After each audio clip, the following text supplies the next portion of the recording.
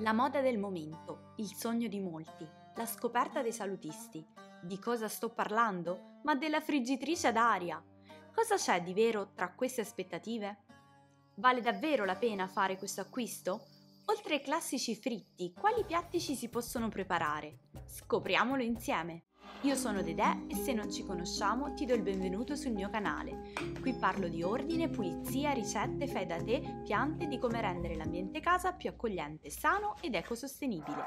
Rispondiamo prima al grande dilemma e poi vediamo tutto quello che ci si può preparare.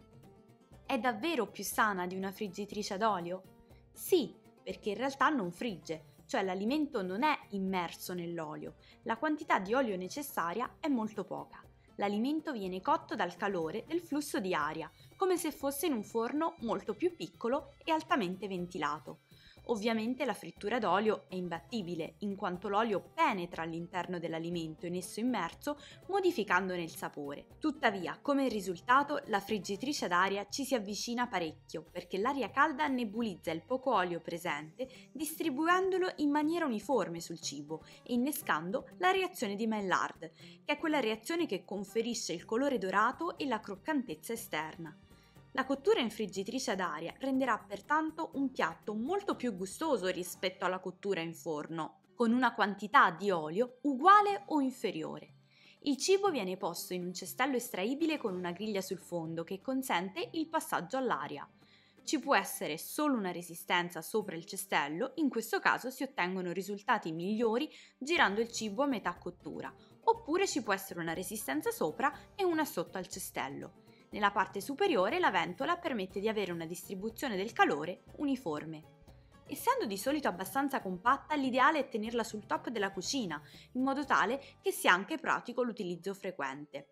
Altro vantaggio, essendo il cestello più piccolo di un forno, si scalda molto prima e anche l'alimento si cuocerà in un tempo minore. Per tutte le ragioni appena viste, direi che l'acquisto ne vale assolutamente la pena e se ancora non siete convinti vi mostro quanti alimenti ci si possono cucinare, non solo i classici fritti. Burger di pesce con contorno di verdure.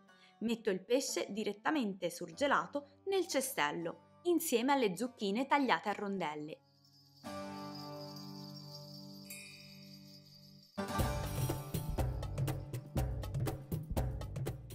Aggiungo olio e sale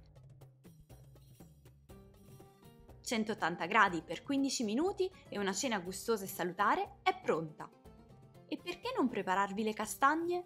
Faccio il solito taglio sul guscio di ciascuna castagna e le inserisco nel cestello. 180 gradi per 15-20 minuti. Cotte perfettamente, con interno morbidissimo e guscio facilmente rimovibile.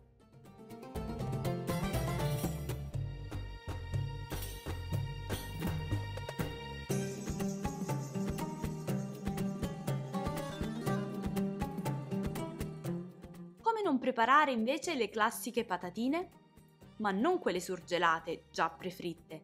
Basta tagliare a bastoncino le patate, inserirle nel cestello, aggiungere un po' di olio e un pizzico di sale e cuocere a 180 gradi per 15 minuti, ricordandosi di girarle a metà cottura.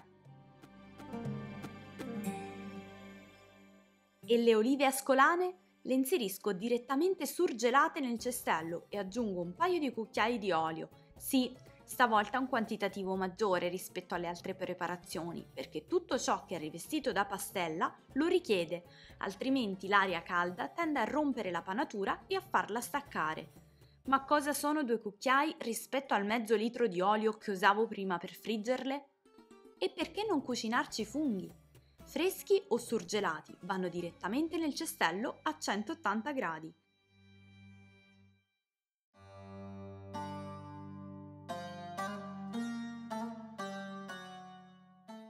Dopo 5 minuti, una volta scongelati, aggiungo olio, sale e due spicchi di aglio e cuocio per altri 10 minuti. Sentirete che profumo. Buonissimi! E la zucca?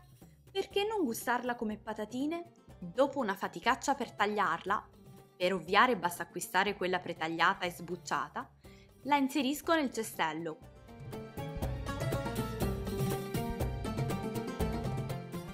Con un cucchiaino di olio e un pizzico di sale.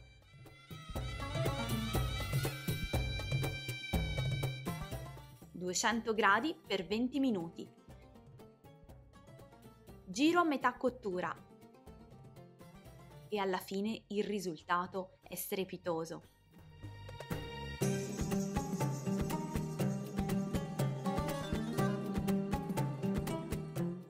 E perché non delle polpette di merluzzo? Dalla confezione alla friggitrice, pronte in 5 minuti a 180 gradi. Come dimenticare i totani? Non li facevo mai per la dieta, per non impuzzare la cucina, e ora invece posso gustarmeli senza rimorsi.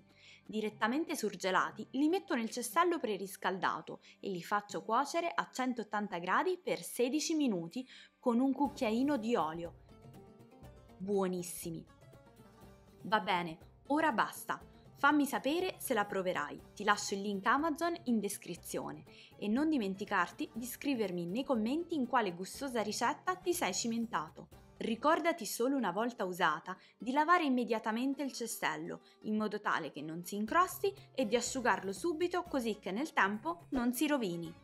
Se questo video ti è piaciuto supportami con un like e se sei nuovo da queste parti puoi iscriverti adesso al canale.